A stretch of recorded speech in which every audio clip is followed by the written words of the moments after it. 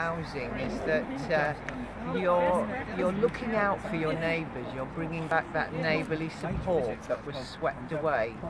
So our uh, idea is to build about 70, 16 apartments, which would be completely private um, and hopefully modular, energy efficient, within um, dementia-friendly grounds. That sounds, but we, we, you have to take everything into account. Um, ra raised beds, vegetable garden, some nice little walks, maybe, you know, something for, for less well-sighted people, a scented walk.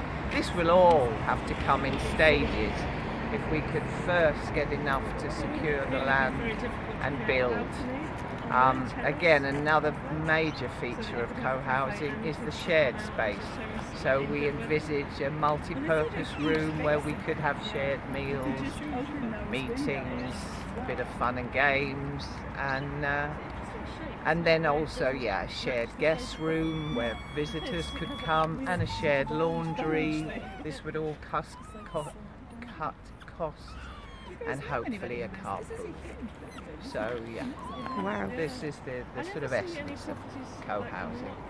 Sounds amazing. So if, if we we could possibly be looking at more buildings oh, absolutely. coming up I mean, within can, Hastings across the board. Money is the only, you know, that's the big bugbear. But yes, we could.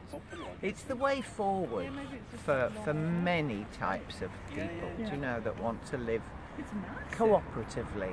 What, what are the benefits of living cooperatively, do you think? Oh my goodness, there are multitudes, multitude. Um, so that you can share things, um, whether it's tools or knowledge. It's good for us, it's good for the planet, what's not to like? You know, we're burning up. So yeah, buy less, share more.